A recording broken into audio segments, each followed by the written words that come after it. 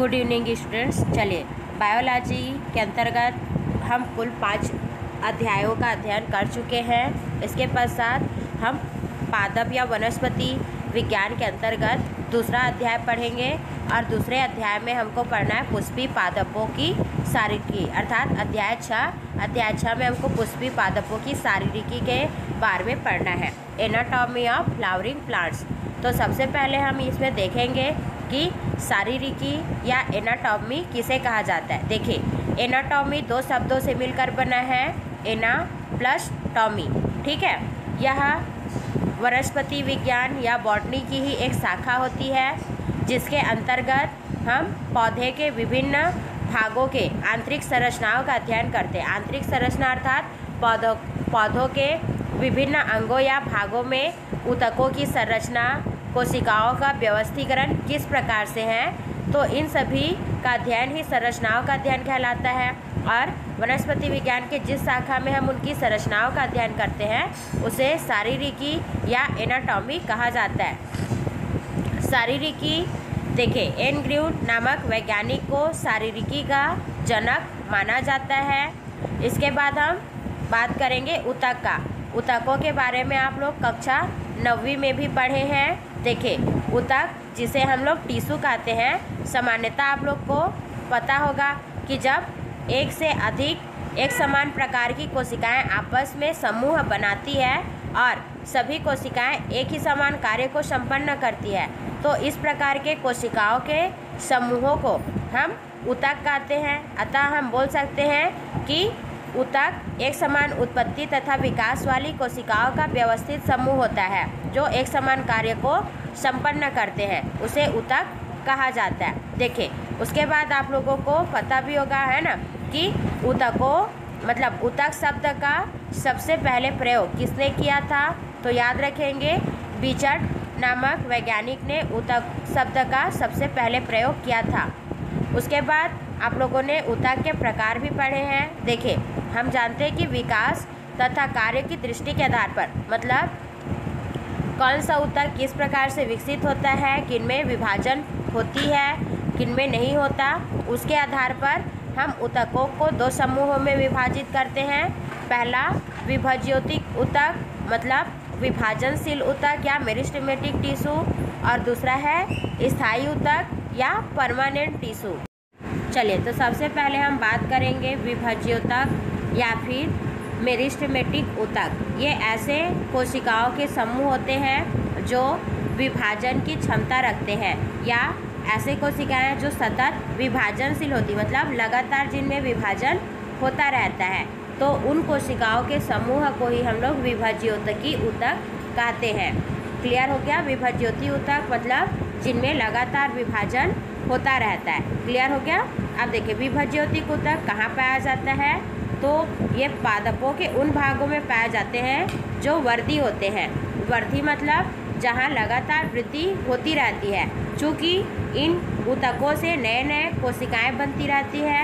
इसलिए इन कोशिकाओं को या इन उतकों को निर्माणकारी उतक भी कहा जाता है। विभज्योतक उतकों के निम्नलिखित लक्षण हैं। पहला ये ऊतक सजीव होते हैं तथा इनकी कोशिकाओं की कोशिका भित्ति पतली होती है। दूसरा, इन ऊतकों की कोशिकाओं में किसी भी कोशिकाएँ बड़ी आकार के केंद्रक युक्त प्रोटोप्लाज्मा होता है, अर्थात इनकी केंद्रक बड़ी आकार वाली होती है तथा सभी कोशिकाएँ एक दूसरे के साथ सघनता से व्यवस्थित होते हैं। उसके बाद तीसरा लक्षण है कि इन उतकों में कोशिकाओं के मध्य किसी प्रकार की रिक्तिका नहीं पाई जाती। रिक्तिका मतलब है ना कोशिकाएँ एक दूसरे से सघनता से व्यवस्थित होती है, जिनके कारण एक कोशिका से दूसरे कोशिका के बीच में किसी प्रकार का गैप या रिक्त स्थान नहीं पाया जाता है। और यदि पाया भी जाता है तो वह अत्यंत सूक्ष्म आकार की होती है। ठीक है? उसके बाद इनका चौथा लक्षण है विभज्य उतक उतक में सभी कोशिकाएँ। आकार में समान होती है। समव्यासी कहने का मतलब सभी कोशिकाओं का व्यास या फिर त्रिज्या समान होती है है ना? क्योंकि सभी का आकार एक समान होता है। इसलिए हम उसको सम आकार की या फिर समव्यासी बोल सकते हैं। और कोशिकाओं का जो आकार होता है, वो या तो अंडाकार होता है या तो बहुकोणिक। बहुकोणिक मतलब जैसे षटकोणीय, ठीक है? उसके बाद इनका पांचवा लक्षण है कि इन प्रकार, है ना, इस प्रकार के उतकों में किसी भी प्रकार के भोज्य पदार्थों का संग्रहण नहीं होता। ये उतक केवल विभाजित होती है और विभाजित होकर के अंगों है, नई कोशिकाएँ बनाती है, जिससे क्या होती है, अंगों या पादप भागों में वृद्धि होती है। ठीक है? ये कभी भी भोज्य पदार्थों का संग्रहण नहीं करते हैं। उसके बाद इनका अगला लक्षण है विभज्य उतक की कोशिकाएँ उपापचय रूप से अत्यधिक क्रियाशील होती चूँकि इन कोशिकाओं में लगातार वृद्धि विभाजन होता रहता है, वृद्धि विभाजन के लिए पोषक पदार्थों की आवश्यकता होती है, जो उपापचय से प्राप्त होता है।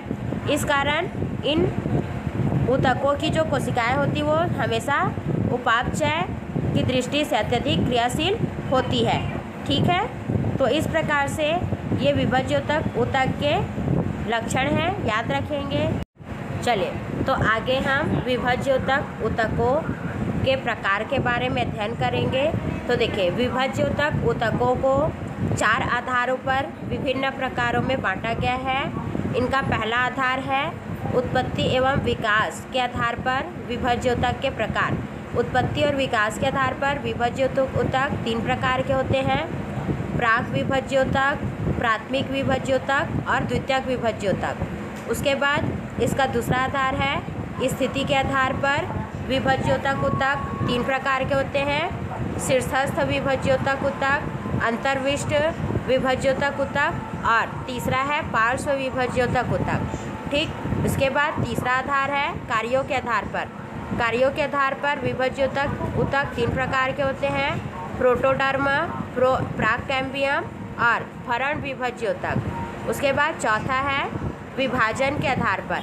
विभाजन के आधार पर विभज्योतक तीन प्रकार के होते हैं, स्थिल विभज्योतक पट्टिका विभज्योतक और सिरा विभज्योतक तो यहाँ पे हमने चार आधार के, है ना, चार आधारों पर विभज्योतक उतक को बांटा है और प्रत्येक आधार पर विभज्योतक उतक के तीन तीन प्रकार हैं। तो आगे हम इन प्रकारों को बारी बारी से पढ़ते हैं और देखेंगे कि किस प्रकार के उतकों से कौन सी संरचना का विकास होता है।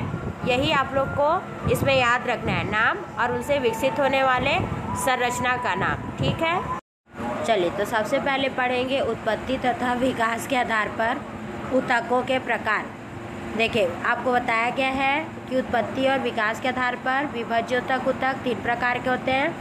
पहला, प्राक विभज्योतक उतक देखिए, ऐसे विभज्योतक उतक जो भ्रूणी अवस्था में पाया जाता है, या जिनका उत्पत्ति या विकास भ्रूणोद्भवन के समय या भ्रूणी परिवर्धन के समय होता है, उसे प्राक विभज्योतक उतक बोलते हैं। प्राक मतलब सबसे पहले है ना, उत्पन्न होने वाला विभज्योतक उतक है, जो जायगोट से होता है, ठीक है?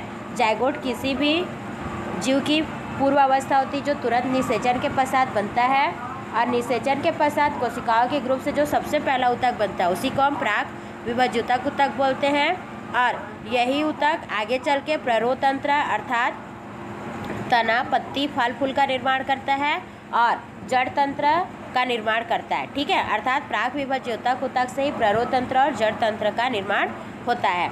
उसके बाद दूसरा है प्राथमिक उतक।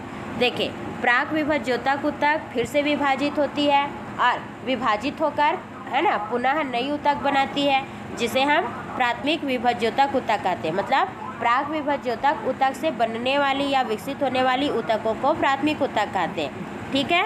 और ये उतक क्या करते हैं? प्ररोतंत्र का अग्रभाग बनाते हैं, जिसको प्ररोहाग्र कहते हैं, और मूल तंत्र का अग्रभाग बनाते हैं, जिसको मूलाग्र कहते हैं। देखिए प्राक विभज्योतक तक प्ररोतंत्र और मूल, है ना? मूल तंत्र बनाती है। और प्राथमिक विभज्योतक तक प्ररो का अग्रभाग प्ररोराग्र और मूल का अग्रभाग मूलाग्र बनाती है, ठीक है? यही इसका कार्य है।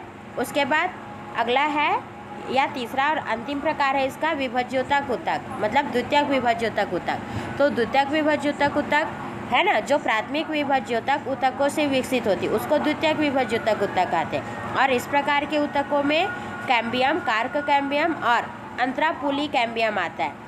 ठीक है, ये द्वितीयक विभज्योतक से विकसित होने वाली संरचनाओं का नाम है। और यही आगे जाकर क्या करते हैं, जो है ना द्विवर्षीय पादप या बहुवर्षीय पादप होते हैं, उनमें द्वितीयक वृद्धि अर्थात मोटाई के कार्य को संपादित करते हैं। स्थिति के आधार पर विभज्योतक उतकों को तीन भागों में बांटा गया है। पहला, शीर्षस्थ विभज्योतक उतक देखिए, शीर्षस्थ मतलब होता है शीर्ष भाग में पाए जाने वाले उतक, ठीक है? तो ऐसे उतक जो मूल के शीर्ष भाग में या प्ररोह के शीर्ष भाग में या अग्रभाग में स्थित होते हैं, उसे शीर्षस्थ विभज्योतक उतक कहा जाता है। क्लियर हो गया? देखिए, इन उतकों का कार्य होता है कि ये यदि मूल के अग्रभाग पर स्थित है तो जड़ के वृद्धि में और यदि प्ररोह के अग्रभाग में स्थित है तो तना के लंबाई में वृद्धि करता है। उसके बाद दूसरा है अंतर्विष्ट विभज्योतक उतक ये ऐसे उतक होते हैं जो दो स्थायी उतक या फिर परमानेंट टिश्यू के बीच में स्थित होते हैं। और जैसे जैसे स्थायी उतकों में वृद्धि होती है, ये भी वृद्धि करते हैं। उनको अंतर्विष्ट विभज्योतक उतक कहते हैं।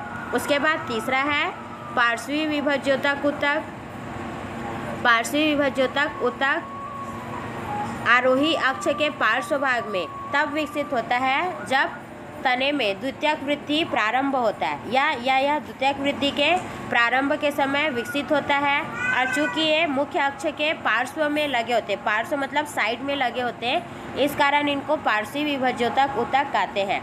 इनका उदाहरण है कैम्बियम तथा कार्क कैम्बियम, जो कि द्वितीयक वृद्धि के समय तना में बनता है। तथा ये असंवहनी क्षेत्र में ही विकसित होता है। कार्य के आधार पर विभज्योतक उतकों को तीन भागों में बांटा गया है।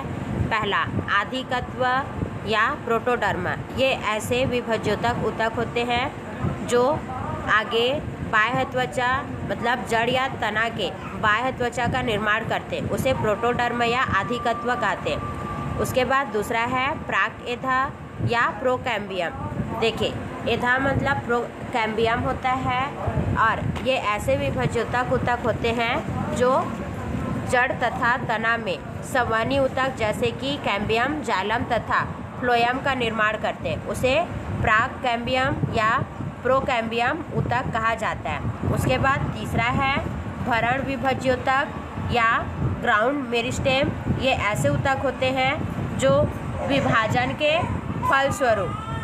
हाइपोडर्मिस या अधस्त्वचा वलकुट या कॉर्टेक्स अंतस्त्वचा या एंडोडर्मिस तथा परिरंभ या पेरिसाइकल और पित्त अथवा मज्जा का निर्माण करते हैं। ठीक है? ये सभी भरण उतक होते हैं, जो जाइलम और फ्लोयम के बीच में पाए जाते हैं। इस कारण इन्हें भरण विभज्योतक कहा जाता है। चलिए, चौथा प्रकार देखेंगे विभाजन के आधार पर। विभाजन के आधार पर उतकों को पुनः तीन भागों में बांटा गया है। पहला, स्थूल विभज्योतक ये ऐसे उतक होते हैं जो जिनकी समस्त कोशिकाएँ किसी भी तल से विभाजित करने पर विभाजित हो जाती है या जो सभी दिशाओं में विभाजित हो जाती है, उन्हें स्थूल विभज्योतक उतक कहते हैं। और इस प्रकार की उतक भ्रूण तथा भ्रूण कोष के प्रारंभिक विकासी क्रम में देखने को मिलता है।